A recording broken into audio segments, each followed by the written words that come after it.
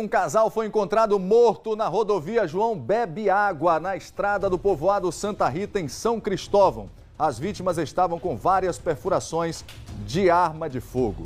Comigo, bronca na tela.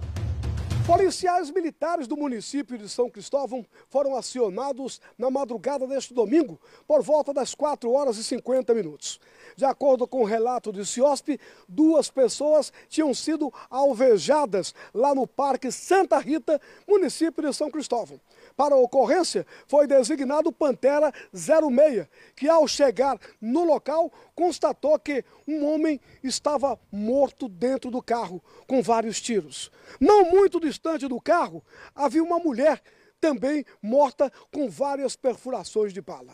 Foram identificados como Vitor Silva de Santana, 27 anos de idade, e a mulher Keila Nayuri Silva de Santana, de 20 anos de idade.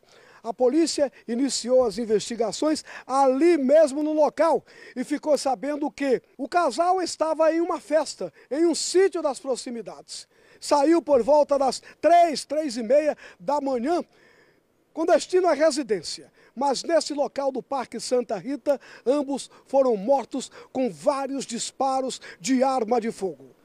A delegada Juliana Alcoforado, do DHPP, é quem está investigando o caso e fala para gente sobre as investigações. Na madrugada de domingo, na rodovia SE que liga São Cristóvão Parque Santa Rita, foi encontrado um casal morto a tiros no interior de um veículo. Eles haviam acabado de sair de uma festa que tinha acontecido ali na cidade de São Cristóvão e estavam no caminho de casa quando foram emboscados e alvejados.